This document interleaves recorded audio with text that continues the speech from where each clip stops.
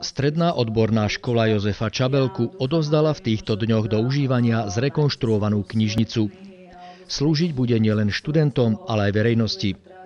S iniciatívou na obnovu priestorov bývalej, ale už zastaranej knižnice prišla jedna z členiek profesorského zboru.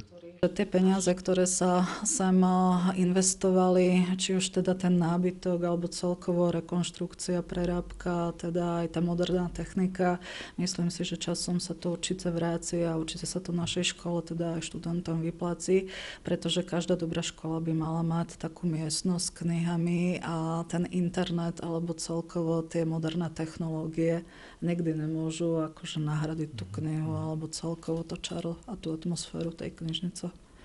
Rekonštrukcia vo výške zhruba 3200 eur sa mohla uskutočniť vďaka peniazom, ktorými ako darcovia 2% zo svojich daní prispeli predovšetkým občania Holíča.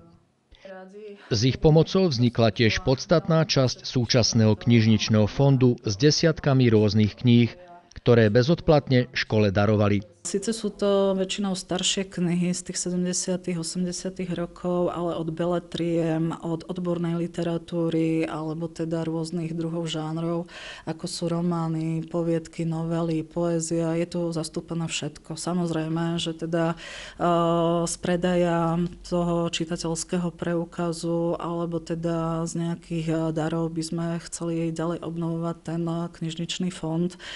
Samozrejme, že chceme dokupovať tie novinky, ktoré teraz vychádzajú a ktoré sú takým trhákom a sú bestsellerom. Ten zoznam bude takisto použitý a bude zverejnený na stránke, webovej stránke našej školy.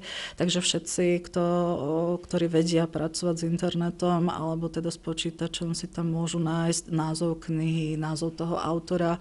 No a samozrejme zistia, že či naša knižnica obsahuje tú publikáciu alebo nie a myslím si, že každý si tu niečo nájde a niečo by si si určite teda vybral podľa svojho vkusu, alebo teda čo rád číta, dá sa povedať. Chcem poďakovať pre všetkým magisterke Magulovej a našim zanieteným študentom, ktorí jej pomohli e, v tej práci, pretože fakt sa toho urobilo veľa.